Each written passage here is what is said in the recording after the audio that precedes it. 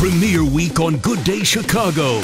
Jake Hamilton sits down with the stars of the new Fox Tuesdays. Tomorrow on Good Day Chicago.